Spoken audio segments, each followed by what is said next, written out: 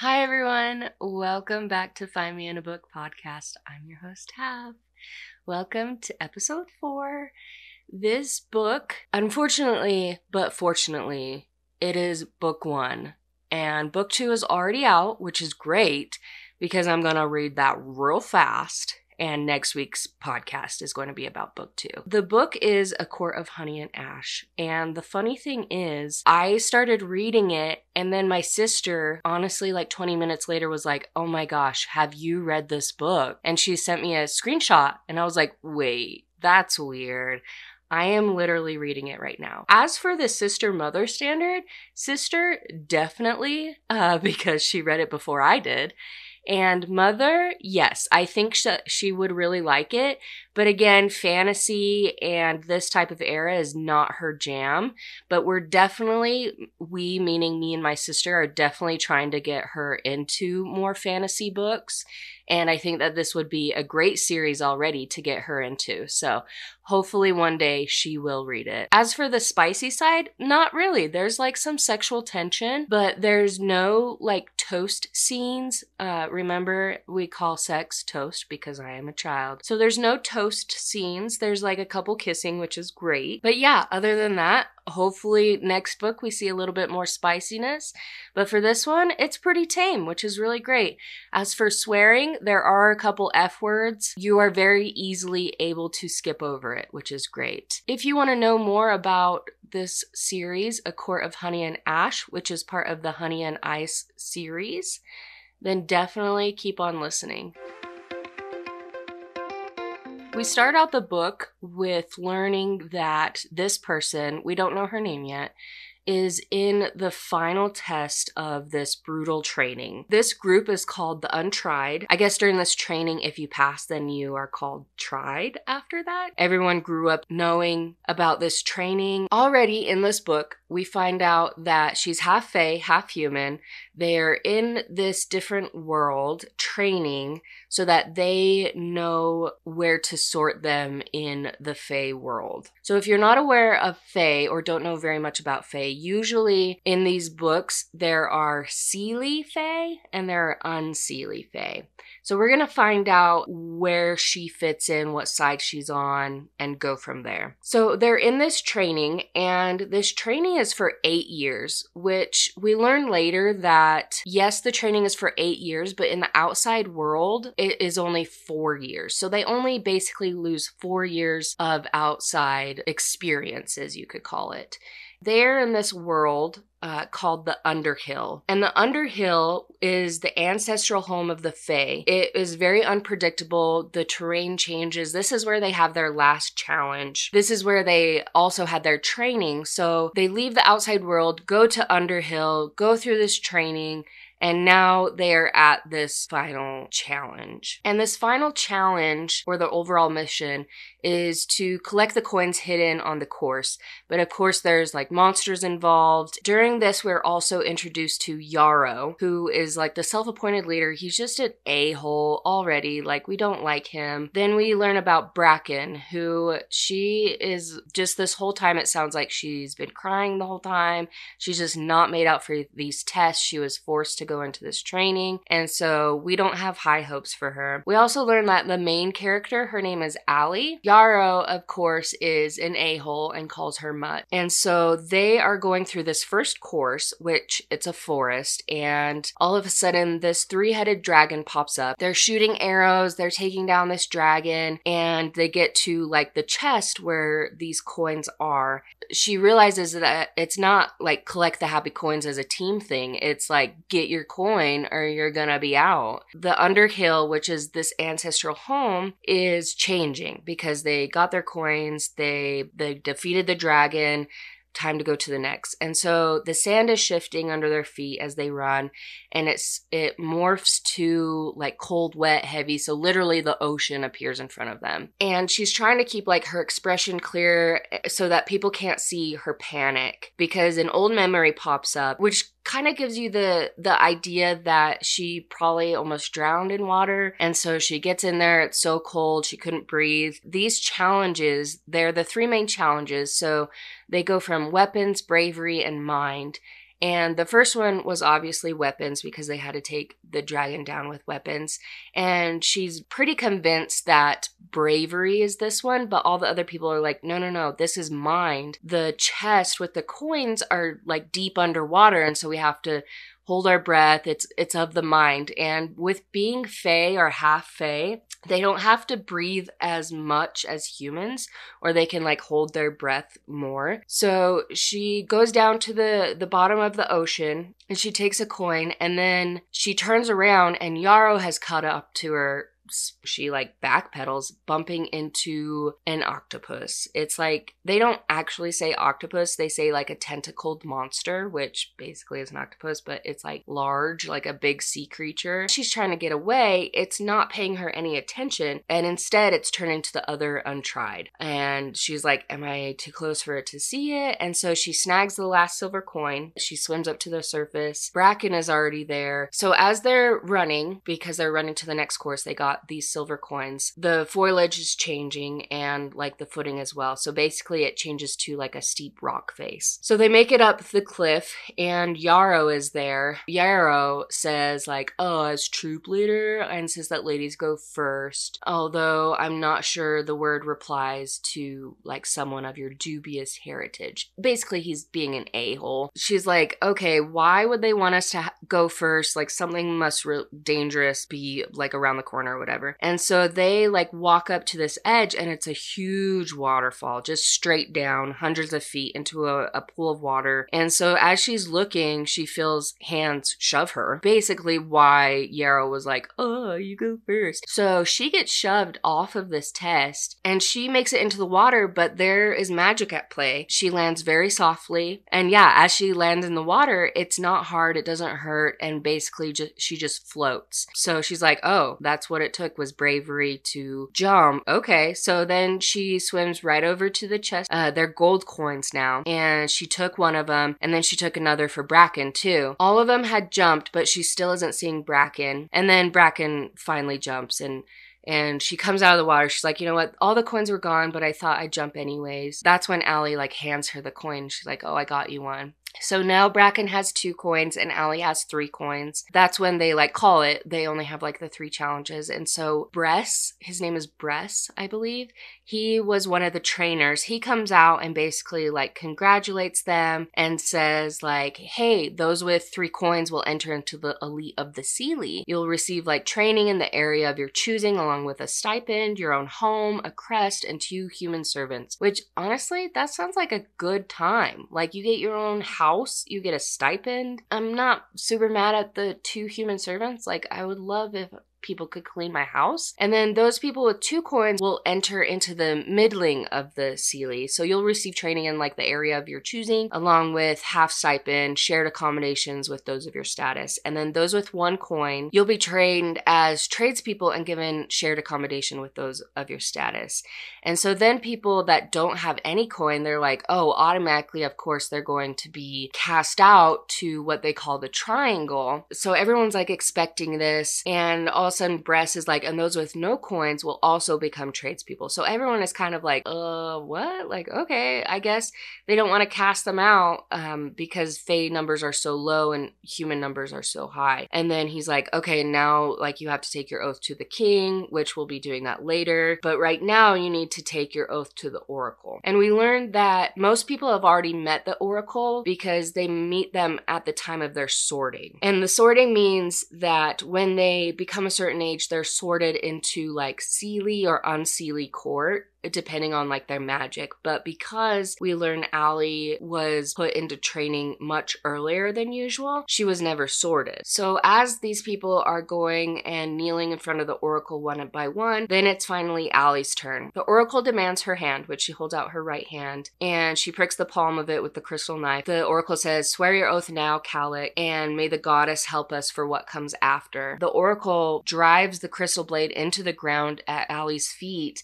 which she didn't do that for anyone else. That's when Alli says her oath. She says, I, Calic of no house, do swear to protect and uphold the laws of the Underhill. She says, I bind my soul to her power. I bind my sword to obey the the orders of King Alexander. And should I ever fail in this, then I shall forfeit my place in this world, the Underhill, and whatever lies beyond. So all of a sudden, all like all her magic rolls into her and does an outward blasting wave as the earth like basically heaves.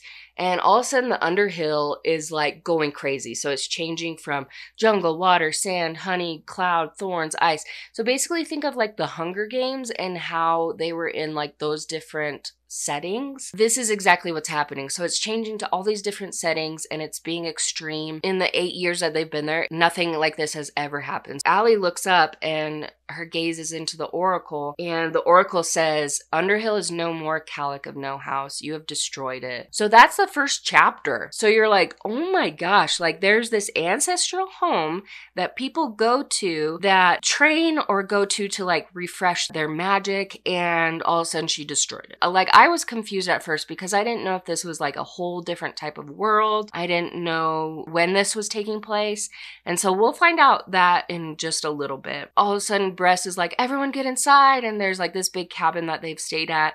And so he like takes everyone inside because the Underhill is just kind of going crazy and there's this huge storm that they're trying to be safe from. And um, across from them are two other troops with like trainers. There's another Seelie group and one Unseelie group. They, of course, have never seen each other before because there's different groups throughout the Underhill that go for the training. And so as they're waiting out this storm, they start to ask like the trainers more questions. And one of the trainer is like, Underhill's not gone. The birthplace of our magic and our source of power doesn't just disappear. And she looks at this trainer a little bit more and she starts to think of her friend that he reminds her of that was sorted into the dark court, so like the Unseelie court. And she and a memory comes up of her mother where they snuck from part of like their island to spy on Fae festivities because remember she's half Fae, half human, so her mom is human and her dad was Fae. At this point was like 5 years old and her mom starts to talk with like the, a group of elders like as she's a little girl says like, "Oh, I'm I'm going to just go look. I'll I'll be right back. I'll be right back." So she like peeks over this like hill and watches all these like Fae festivities because I think it's like the equinox or something like that. All of a sudden, there's this couple that rides up on these horses, and everyone is just so enamored with them. And then all of a sudden, like the children start lining up. They have flowers in their hands. They're going to be meeting the the woman who was on the horse, and she's just a beautiful, beautiful woman. And so they were like lining up. And so Alli's like, oh, I'm going to do this because she's only five years old. She doesn't like super know. She reaches the bridge where there's only a few children left in front of her, gives her flower to this woman. And the woman just like looks at her like, oh, thank you, like uh, kind of surprised. So as Alli is walking away, a rock gets kicked into her path and she trips over it and she stumbles sideways. So this is the memory that Alli is remembering when she's going into the ocean to get her coin. She fell over a bridge and she is being dragged down because of like her clothes and so she's basically drowning.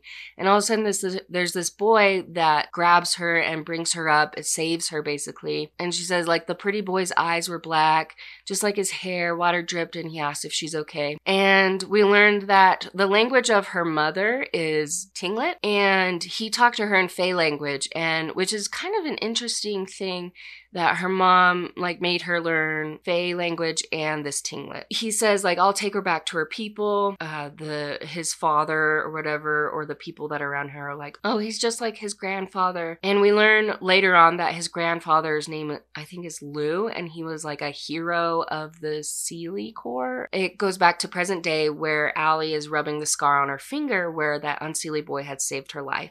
Because remember the the trainer reminded her of this Unseelie boy. They decide the next day, the whole group, that they need to go back into the real world. And this is where we start to learn more about this world and what timing and everything like that. And so they say since the Fae had come out to the human populace roughly 100 years before, so right after the end of World War II, people had encouraged the old belief that Fae couldn't lie and that they were like gentle folk. So they, the Fae had split their people up all over the world to keep their numbers down and make it easier for the humans to trust them them. So they they head back into the real world and they go on this private jet. So obviously it's like yeah, nowadays where they have private jets. And then we learn a little bit more about Alli is that she is a bastard and left by her father's guards at the orphanage, which we're like, wait, father's guards? Like, what does that mean? Like, do these Fae have guards usually? And she doesn't talk to her dad at all because he ordered his minions to chuck her in an orphanage, claiming that her mother died and she has a stepmother that just loathes her.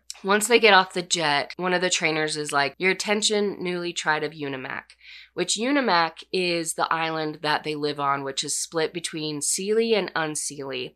And we learn that it's actually in Alaska, or just off of Alaska, like by the Bering Sea, I think they said.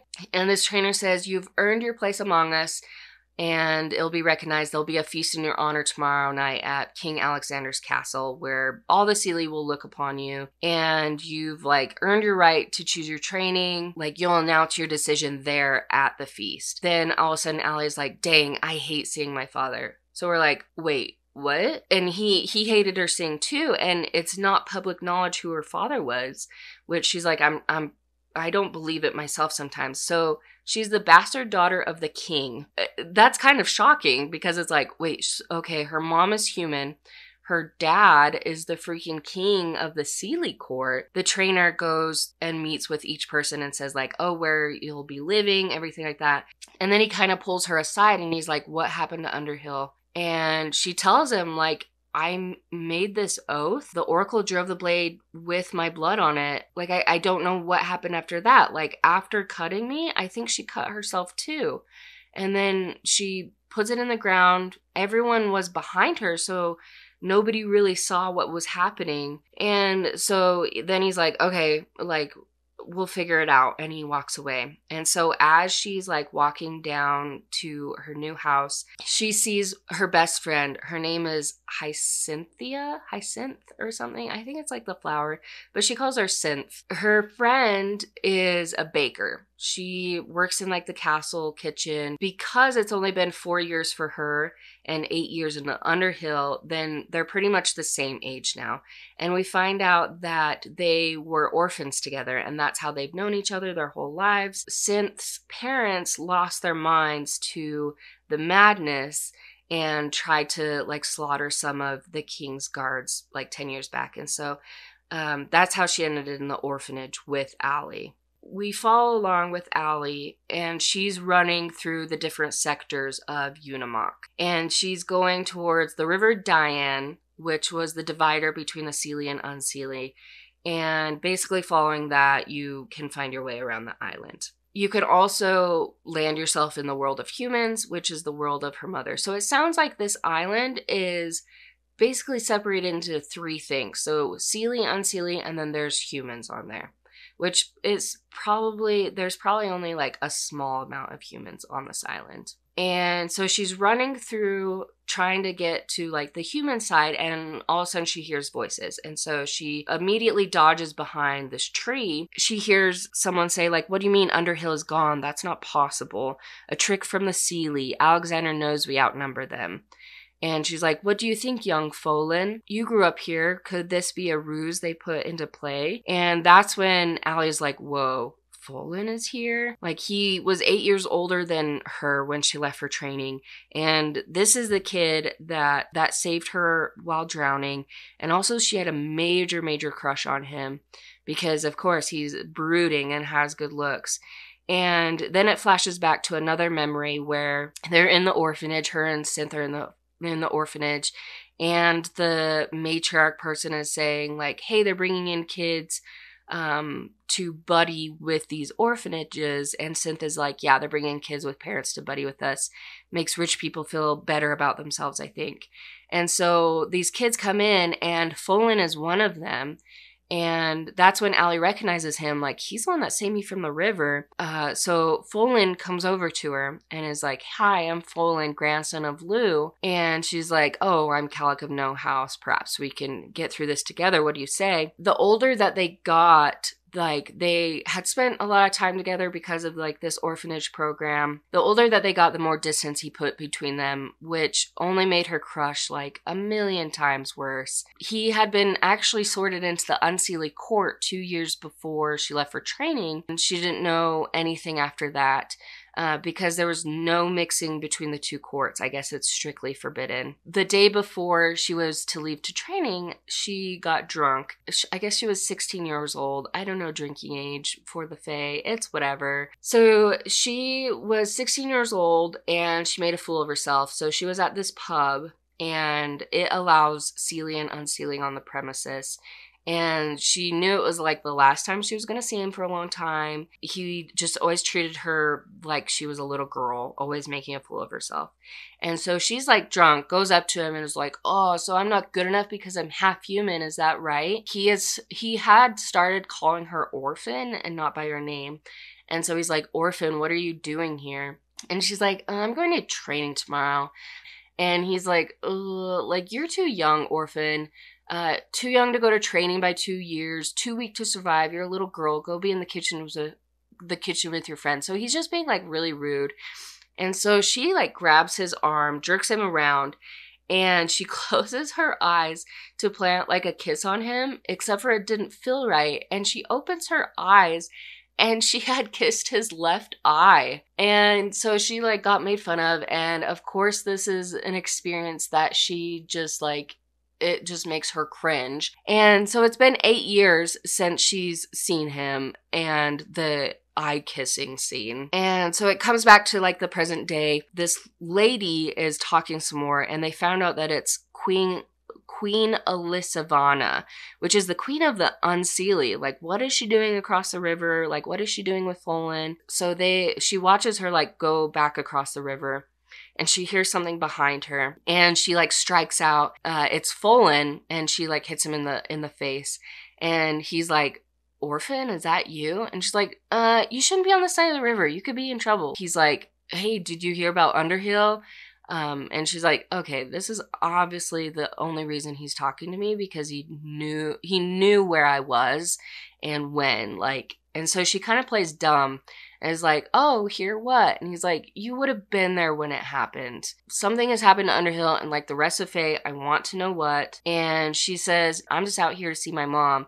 So if you don't mind, I'd like to be left alone. He doesn't follow her after that no no fae willingly crosses the divide basically. And she goes to this tomb or like stones that have been piled up and and that's where her mom is laid to rest. So we do learn that her mom is for sure dead. It's just kind of like this memorial that she goes to visit. So then she gets back to her house and she's getting ready. And the last time that she saw her father was afar when she was 16 and he, she was actually on a convoy uh, with other 16 year olds that were brought to the castle to be sorted into the Seelie and Unseelie. And she had spotted him like from the window. And then immediately after that, they plucked her from the trolley, sent her back to the orphanage. And that's where the matron or the matriarch or whatever informed her that she was leaving for Underhill training the next day, two years earlier than most, which is kind of like the more that I think about it, it's kind of suspicious where it's like, okay, why did he not want her to be sorted? She was sent to training early. That's, I don't know, that's kind of interesting. Someone comes out and they say, here's the king and queen, blah, blah, blah, blah. And they're like, the king will now hear your choices. And so they like each take turns. She goes up, she makes eye contact with him. The, the consort or the stepmom or whatever just is like glaring at her the whole time.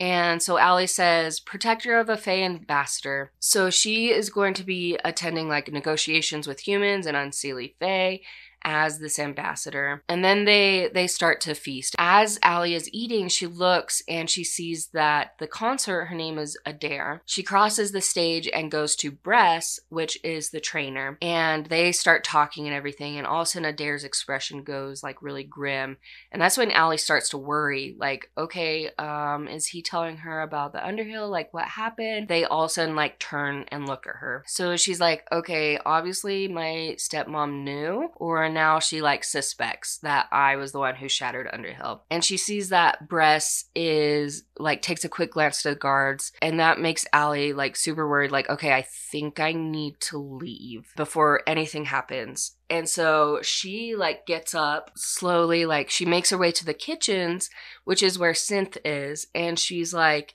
Hey, I need you to hide me. And Synth, of course, is like her best friend. She's like, uh, obviously, yeah, I definitely will. And so they switch clothes. And so then Alli like takes off. She goes to like her new house to go get her money. So then she starts thinking of like, okay, where where do I go? Like, what do I do? And the only place left open to her was the one that was taught to fear from childhood. Um, and basically, the place the orphanage used as nightmares to keep them in check. And even like lately, the humans have learned to fear, and it was the triangle. So we start to learn more about the triangle. So Alli makes it to the airport. There's like this cargo plane that she tries to get on, which she makes it onto there. And they land at the Fairbanks in Alaska. They land at the airport and so Fairbanks puts her towards the east section of the Alaska Triangle, which covers like the land area between Juneau to the east and Anchorage to the south and Barrow at the very northern tip of the state. So that's kind of the triangle. And until recently, the triangle had contained the Underhill. So she makes it off the plane very sneakily. She makes it into the building. All of a sudden, there is like these five security guards, and they and they stop her. And she plays dumb, and she's like, "Oh, is this the terminal? Like, there's no guide." The one of the guards is like, "Uh, there's no other passenger on the plane that just came in. Like the pilot, co-pilot, and one passenger. That's it." She's like, "Oh, well, like I, like just playing dumb. Like, oh, we need to go get this sorted out." And then all of a sudden, they hear you you, oh, you found my assistant. And she turns and it's this giant caribou. I mean, in our day, we're like, uh, what? But I guess the humans there are used to it because they're, they're used to Fae. And so there's this talking caribou. The security is like, wait, she's with you? And, and he's like, correct. Might we proceed? Like, I've already cleared her paperwork. And so as they're walking towards this vehicle, so her and this caribou, and so he introduces himself as uh, Rubizal. He's like, you know what? Like all of us who live here, I'm an outcast Fae. I sent this creature to attend a meeting as my vessel with a Seelie ambassador, but when I caught wind that a young Fae woman was running from Unimak, I postponed my meeting to meet you. And he's like, but why why are you here? And she's like well i'm looking for the entrance to underhill actually. Do you know where i can find it? Could you help me? And he's like even better. Like i can show you in person. You would need to drive to meet me though. And so she's like okay, like, why are you helping me? And he's like, oh, you can call me Ruby. And he's like, I don't want anything from you, but your power does interest me. And she's like, okay, this is the second time he's mentioned my power, or he keeps describing it as like unusual. And so they get to this vehicle, and he's like, hey, this car contains a map. We leave it here for newly outcast Fae, so you can take it without concern. Like, the key is in the ignition. So she, like, gets in this car and starts following this map. She, like, turns on the radio a little bit, and then all of a sudden she hears like voices whispering her name. And all of a sudden it's a Synth's voice that snaps to the radio and she's like, What the hell, Alli? Like she's like, I can't tell I can't hear if you're talking to me. And she's like, Where are you? Have you lost your mind? Like decided to throw your whole life away?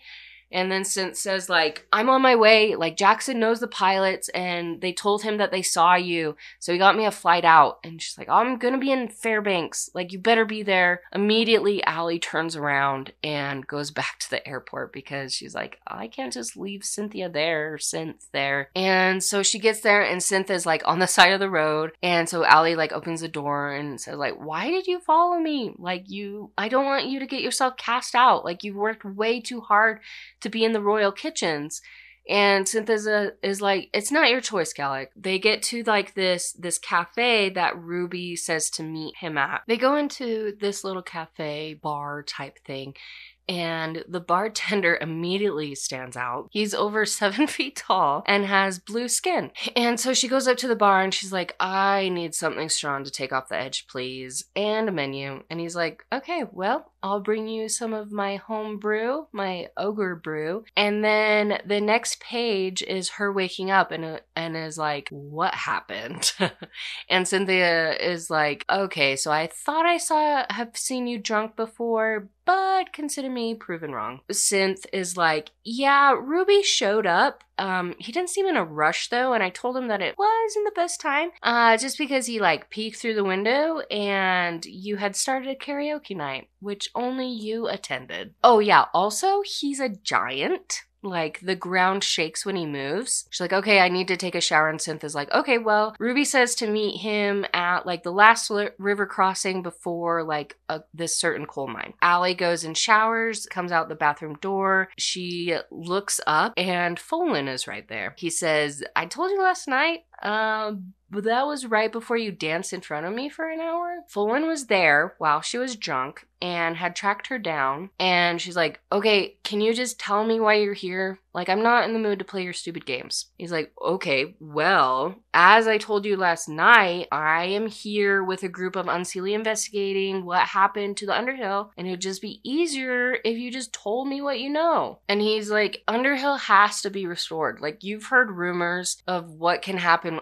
to us without it. So that makes her wonder like, okay, are you implying that the Fae really do go manic without Underhill? And he's like, well, we'd be foolish to dismiss the possibility. Like, we have to make sure that we get Underhill back. Then they talk about how Folan is the descendant of the Seelie Fae hero Lugh, and it surprised everyone when Folan was sorted into um, the Unseelie Corp. And so he asks her, Why did you leave? What happened? And she's like, Uh, well, simple story. Like, I cast myself out. And he's like, No, no, no, no. That's hard to believe. Like, that's not what happened.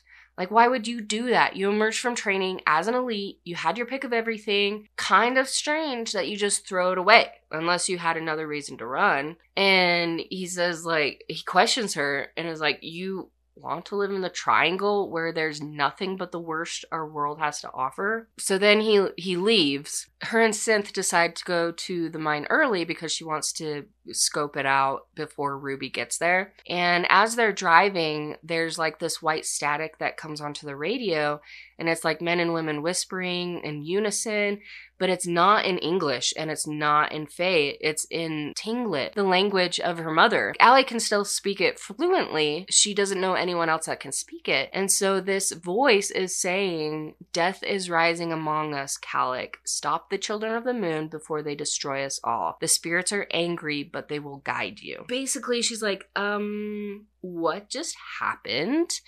They just said this to me, and the Unseelie, their crest is of the moon. So it's like, okay, are the Unseelie the children of the moon? Like, what's happening? So they get to the mine, and Alli makes Synth stay there. And as Alli walks out, a guy stumbles out of a building and he's like, Wait, why are you doing here? Like, there's an evacuation order. Like, you can't be here. The giants are coming. We have drones up to like keep an eye on things. And last time they were here, they killed the entire crew. And so he like leaves and she's like, Okay, well, those are probably the people that I'm looking for. And she looks around and all of a sudden there's 10 of them approaching. So they're each like 12 feet tall. And so she yells to them, like, Hey, I'm here to speak to Rubizal. Is one of them you? they just look at her and then all of a sudden one of them does like a roar and like rushes her and she's like i'm here to speak to ruby either you play nice and tell me where he is or like things are gonna go down and they don't say anything so she's like attacking like they're attacking her she's attacking them all of a sudden she's like Lugh, help me because that's like kind of the exclamation. And it says like oh but it wasn't Lugh that she got.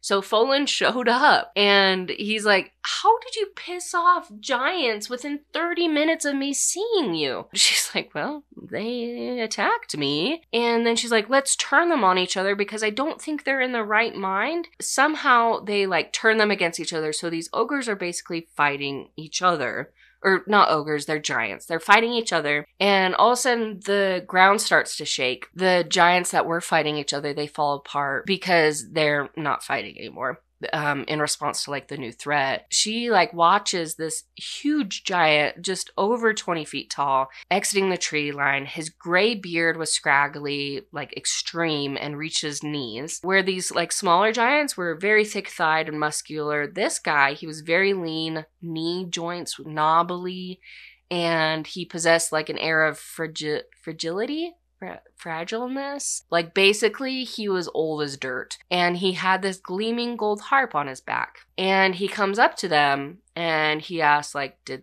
they attack you?" And the largest of the the fighting giants like growled at we obviously know this is Ruby, but like growled at Ruby. That's when Ruby takes his harp and strums a few notes and all of a sudden, the giants all calm down. He's like, the demise of Underhill has affected us, of us all faster than people think, and especially like the younger they are. So as they're walking, Ruby and Alli are just talking to each other, and Alli asks him, like, "Are you the leader of the outcast then?" And he's like, uh, protector. I've never sought to lead.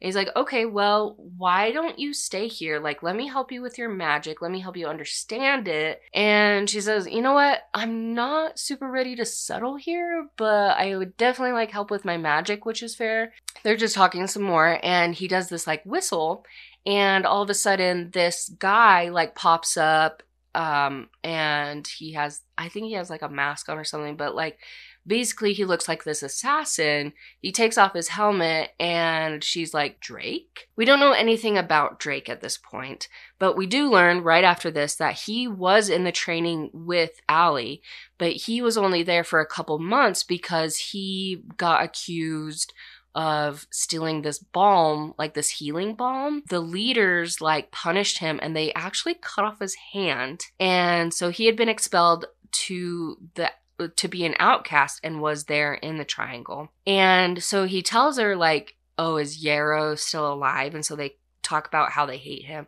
He's like, yeah, actually, Yarrow pinned everything on me. He was the one that stole the healing balm which is so frustrating. So we we hate Yarrow even more because he he made Drake like lose his hand for something he didn't do. They basically have a vendetta against Yarrow, which is completely understandable. The next morning, Alli convinces Drake to take her to the opening of where the Underhill was, even though he's like, no, no, no. Ruby said that he would take you. But, you know, she convinces him he's attractive, she's attractive, and they kind of like flirt. And so she convinces him to take her. They go to this area. So she like closes her eyes and she stretches her magic out as if like seeing with her magic and opening it. And so she calls to Drake and was like, the area seems really drained of life. Like, and so then they start hearing, they hear some voices by them and they're like, oh, quickly, like into the trees. So they're in these trees hiding their magic. They hear this voice that says, like, we've already searched here. What's the point of coming back? And they freeze because it is Yarrow. So they're like, why is Yarrow here in the triangle? Both her and Drake were like, we want to kill him like we're very upset but they tell each other like no no no we can't. There's a better way. Like why he's there we don't know. Later that night she can't get to sleep. Like she's just has so much on her mind and then she hears something and she sees a fae like shadowing and so she goes and like attacks him and it's Folan. She like heads headbutts him and she thinks that she's like seeing stars but it's actually her magic that had like flared and all these like ribbons of color shooting around her. And his actually did the same thing as well and responded to her. So basically, their magic is like coiling around each other. And she starts to like hear his thoughts like, why are you here? What are you doing with the strays? What's made you run so far from everything you ever wanted? And and like he also takes her memory from the recent past of like what what she's been replaying over and over, like what happened with the Oracle and everything. And finally, like their magic untangles. They're like, well, this is why they say like Seelie and Unseelie like can't be together. So she she tells him about everything that ha- happened. She says like, "Do you believe me, or are you gonna take me off to like an early grave?" And he's like, "Let's do option C." And she's like, "Wait, uh, what's option C? Like, and what did you just do with your magic that pulled this memory from me? Like what like what just happened?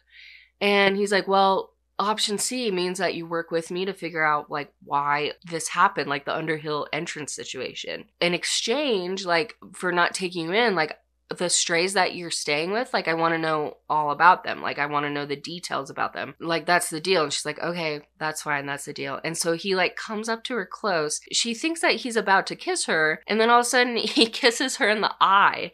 And she's like, what the heck? Like, why did you do this? He's like, well, you did that to me. Like, I'm just paying it back. And right after he left, like this bird comes in the window and Ruby had used the bird as like a liaison and used his voice and said like I trust the grandson of Lugh. Did you no harm? Uh, I need you to come meet with me. So Ruby knew that Folan was there, and so he holds out like this pipe and says like do you agree that this is a pipe and she's like yeah it, it looks like a pipe it appears to be a pipe and so he like starts to like he just holds the pipe and then all of a sudden it turns into like a metal goblet and he says do you agree that this is a goblet and she says well, it appears to be a goblet. And he says, the appearance, yes, but look closer. And she says, okay, well, the essence is still the same. And she looks closer and she's like, this is an illusion. And he's like, it is. I wonder what might happen when your magic meets the illusion.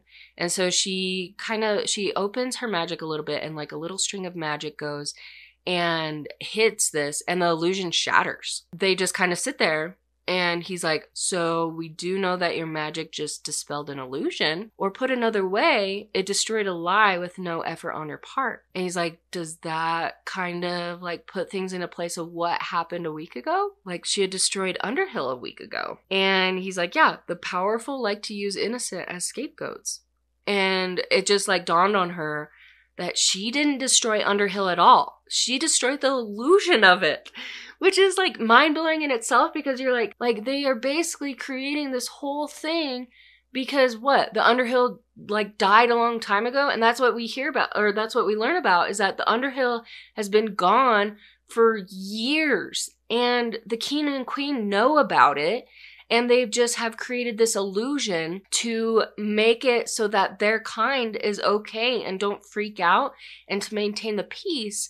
And while they like try and figure out how to restore the access to it and so the king and queen leave the Unimak they leave to go to this entrance to kind of siphon their power into it. So as Fae go into this illusion, they still get that power in them. So they think that it's still Underhill. They, of course, need someone to blame it on, and freaking Alli destroyed the illusion. So, of course, they're going to put this on her that she destroyed the whole thing. The next day, Alli goes, Hey, I'm going to go train the strays. And so, once she gets to a certain area, there's all these, there's about 30 men Alli immediately says like, "Hey, we need to open the side ice up like no magic. And so she's like starting to train these guys. I don't know the kind of strategies she's going for but she's gonna make them work drake is there he's working really hard and then there's this guy with the hood over his face like he has potential there's this guy a little bit later on that says like can we start a fire like we're freezing and she's like well when the task is done like you can have fire and what remains of the food so he calls her a b word and he's like you're a hungry power a power hungry bee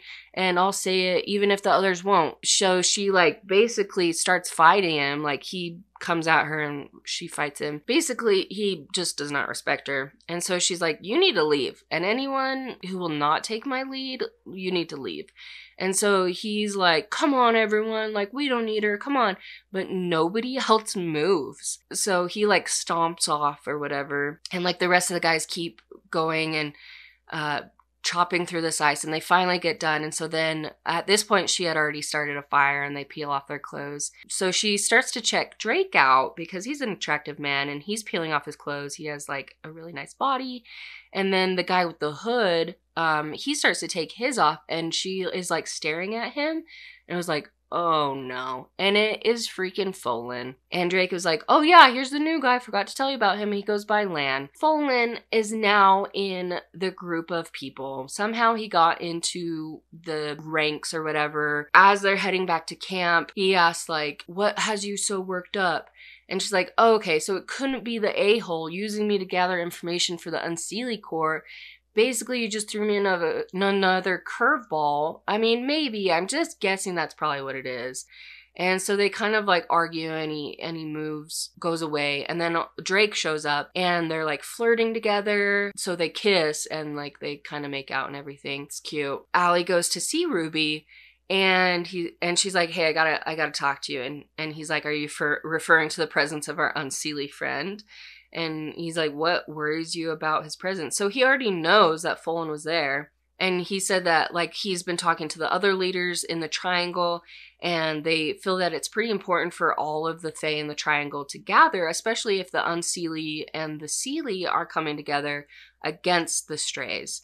And so he's like, you know, although we prefer to spread ourselves out, we're stronger together. And then he goes on to say, like, hey, the Seelie King has sent a missive that, you know, if Underhill isn't restored by the spring equinox, like, he's going to send an army to wipe all of us out, like who lives in the triangle. So, and she's like, okay, so we aren't just gathering people, we're basically making a run for it. And she asks, like, how can that happen if Folan is with us? Like, he'll know where we are. He says, okay, well, there's going to be a point of no return, like a crossroads and it's there like Folan can he's no longer welcome with us. So you need to make sure that something happens to him. Later that day um, Alli goes out and she sees these two guys like brawling. And this one guy is just clutching his head and he starts to he starts to speak in Tlingit. And he says the spirits they'll come for you on the night of the full moon. Be ready. That night she can't get to sleep and she just has this instinct.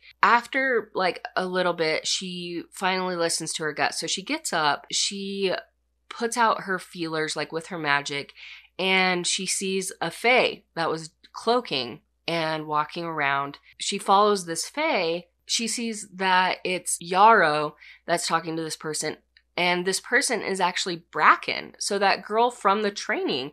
So it's Yarrow and Bracken. Yarrow says, like, then that fool Ivan spoke the truth after all. So remember the guy from the training or like the the recent training with all the strays that he got mad and he walked off. His name was Ivan. So this Ivan ran to Yarrow and basically spilled like the whole trail that they're going to be going on and like all these different things. So Yarrow was like, now we take them. So Alli runs back to the camp and he's like, hey, time to go. Like the Seelie are coming to kill us in our sleep. So that wakes everyone up. She's able to get everyone ready um, by the time Yarrow starts yelling like "Outcast Fae, surrender to the Seelie Court in the name of King Alexander," oh, you're harboring a criminal Fae who wanted who's wanted for her crime against the Underhill, and so then they they start fighting. So Alli is is fighting like a lot. She sees Bracken again. She's like, "Bracken, what are you doing?" And she's like, "I didn't have a choice. Like I he put his influence on me. Like I can't." go against his influence and he believes that this is his chance to surge up in the ranks before his time. So this isn't even from the King Alexander. And so Alli goes back to the fight, and Yarrow is fighting Drake, basically says like, "Oh, miss your hand," and being like a jerk.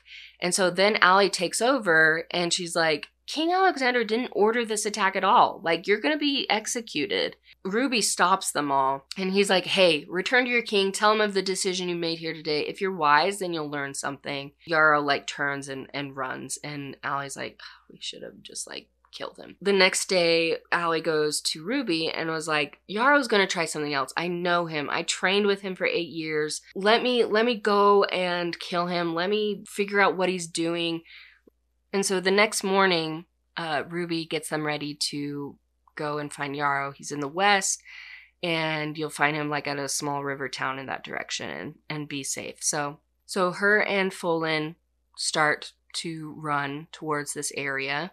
So they they look down onto this river and it's a human cruise ship and it's surrounded by Fae and they're tossing out these barrels that they're like that's glimmer so, glimmer is basically a deadly plant brought from the underhill that explodes upon like contact with anything. So, they were able to like stabilize it though in powder form, but it doesn't like blow up without fire. Yarrow's going to blow up the cruise ship and frame the strays. So they like rush down and they are trying to clear like all these barrels. All of a sudden, Folan is there and he's like, What are you doing still on board? Like they are about to explode this and he like pushes her off the boat into the water and she like comes up and she's like jump! And all of a sudden it, explodes and she like gets caught underwater everything she gets shoved to the bottom and she comes back up and he's gone. He comes out yarrow is just there. He turns and he's like hello mutt because he knows that she's there. And so they start fighting and she is she bests him and she looks up and all of a sudden sees this like magic, like this strange gray magic. And she realizes that it's really old, like it's an ancient magic. And so she like does this sign of peace or whatever that they do. All of a sudden, this Fae comes out and he is what the humans call Bigfoot. So just imagine uh, Bigfoot coming out. He was watching the whole fight. She says, like, here you go, and basically offers Yarrow to him. Yarrow gets eaten by Bigfoot, which is kind of funny. She moves back towards like the cruise ship just to see if she can help, and she sees this figure on the bank of the river. And he turns and they see each other, and it's Folan. He survived and it's so cute because this phrase is like, and then they were running to each other, both of them sprinting like they were in a race for their lives. Wrapped her arms around his neck, hugged him close, gasping back a sob. I thought you died. And his, his arms snake around her waist. He buries his face against the neck. I couldn't find you after I thought I'd been too slow.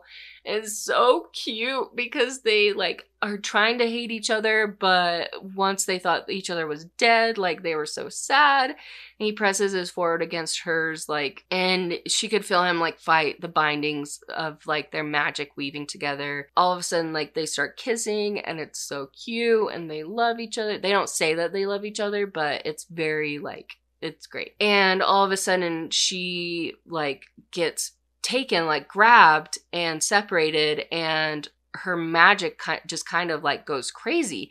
And she's in this mindset like, I need to be returned to him. And so she kind of goes crazy and like kills one of the guards eh, like it had just consumed her they say like oh like we need to kill her like she lost herself to the madness she's like no it, i mean she didn't say this but in her head she's like it it wasn't madness that took me. Like it was a weird feeling.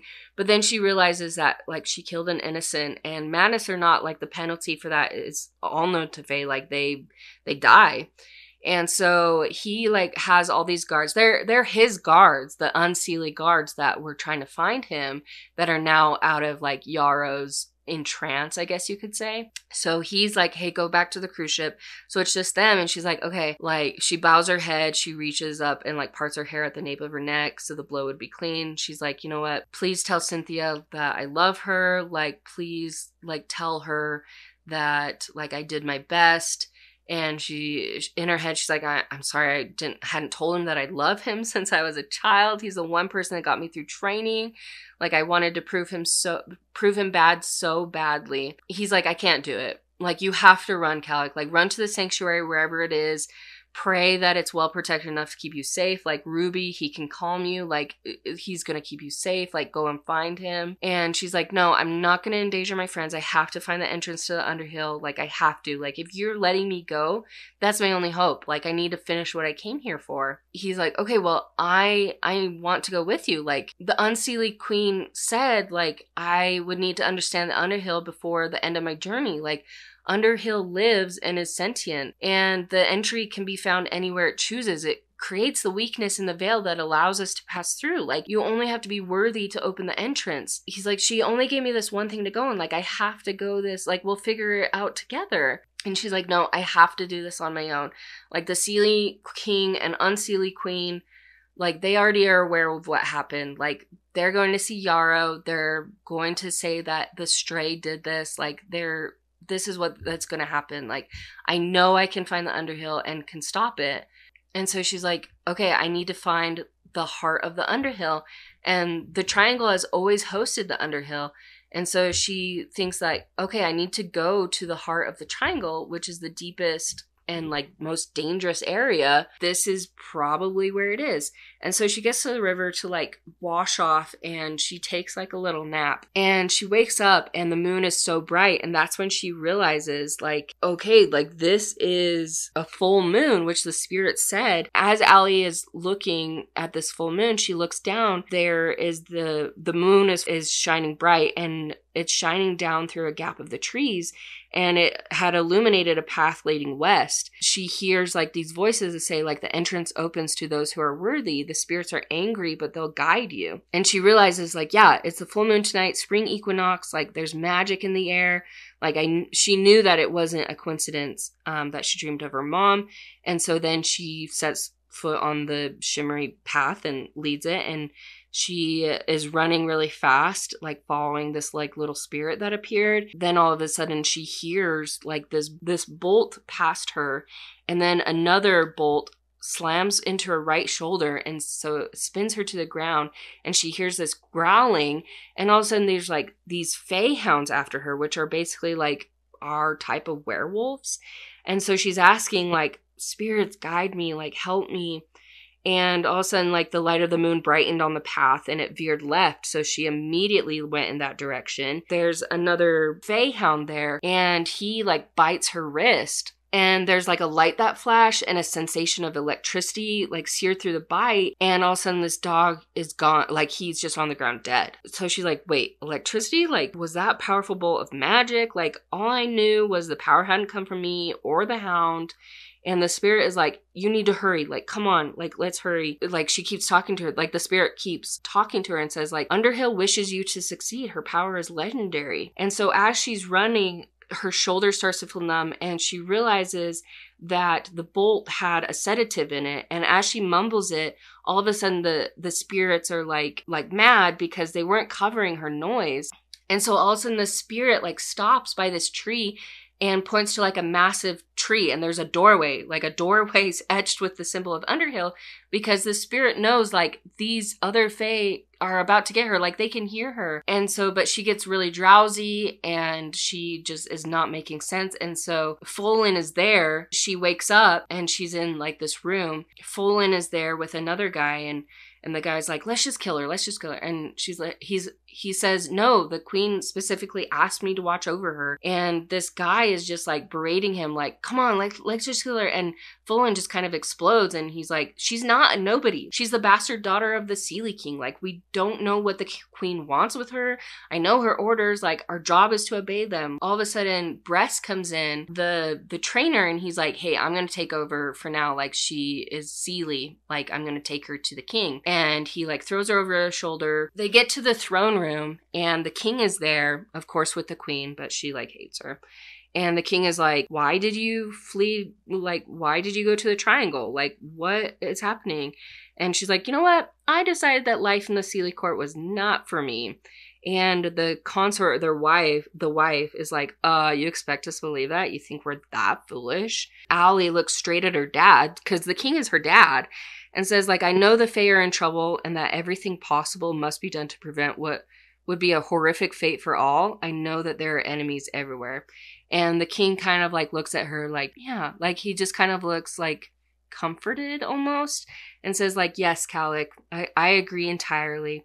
And then he says like, hey, take her to this guest chamber, like treat her great. The queen like leans over to him and she is kind of like throwing a fit and he just like looks at her like just demand in his eye and she like lowers her eyes and bows her head to him and he's like it is time. And so later that night they have this like feast or whatever. Alli is there. The king comes in. He doesn't spare a glance for like anyone. Adair who is the the queen she like is very subdued. She goes over to like this large man which is the king's brother so Alli's uncle Joseph I guess. And so she stops there which is a strange thing to do to Alli she's like talking to this uncle and a sad smile like trips over his face and then he looks away. And all of a sudden the king is up on the stand or whatever and he's like hey like well not hey he's like he speaks better but he says like Tonight I've called each of you to bear witness to a mon- monumental occasion. And he basically lies and says, like, just over a fortnight ago, I sent a force of Seelie to the Triangle to investigate the demise of Underhill, as you know.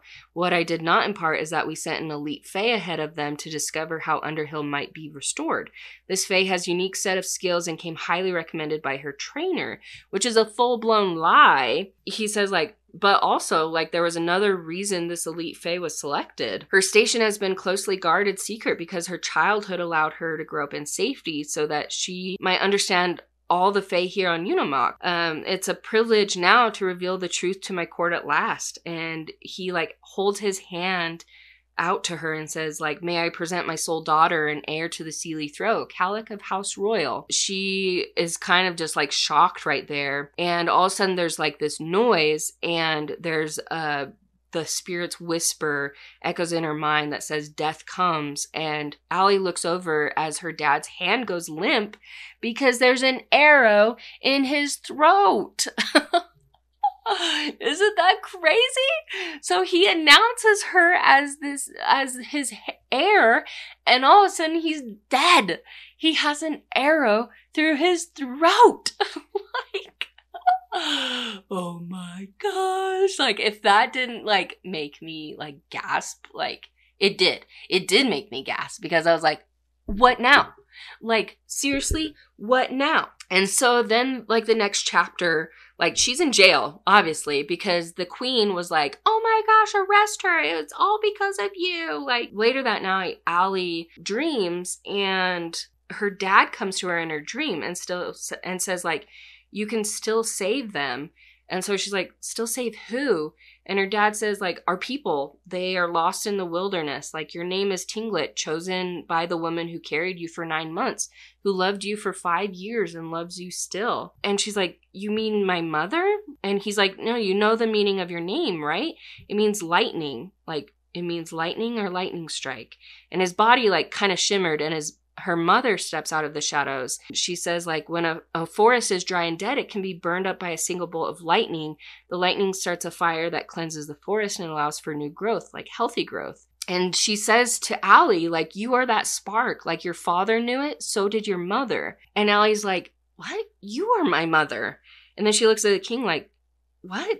And the king turns to her mom and says, like, she'll understand soon. Is her mother not her mother? Obviously, I mean, this is like basically the end of book one, but it's like, who's her mom?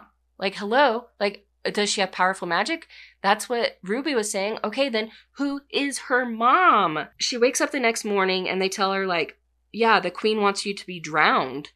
And she's like, oh, of course she does. So she, like, goes they take her to this big tank in the middle of like the courtyard or whatever.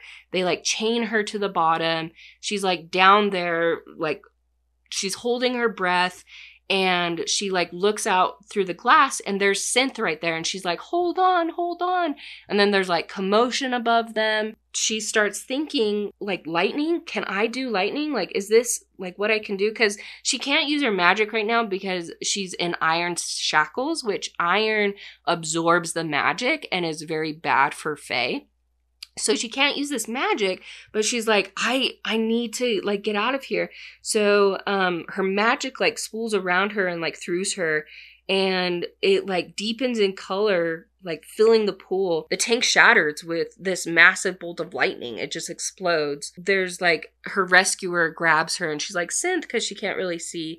It's actually Folan. And he's like, She's coming. Don't worry about her. Like, we've got you, Your Majesty. We've got you. Okay, that's the end of book one. What a whirlwind. We knew that she was the heir to the king, and now she is what? The queen? I don't know if the consort or the queen or whatever actually gets the throne because she was married into it like, I think Alli gets the throne now of the Seelie, and we don't know who her mother is, obviously, because her mom was saying, like, oh, your mom. And it's like, wait, you're her mom. So we don't know who her mom is, and the king is dead. Folan and Synth came after her. I don't know where they're going, maybe to find Ruby. Yeah, that's what we know so far. I'm going to be reading book two this week, and next week podcast is going to be on book two, so stay I mean, if you want to read this book, I recommend reading this book before like next week if you can. And if you get done with it, like read book two, like read ahead. Like, I want to talk about this with you, and I'm so excited to. So, I am so grateful for you guys. And keep listening, keep sharing. Follow me on Instagram, find me in a book podcast, and follow along because I am so excited to start talking about book two. So, anyways, thanks, guys. Have a great Thanksgiving.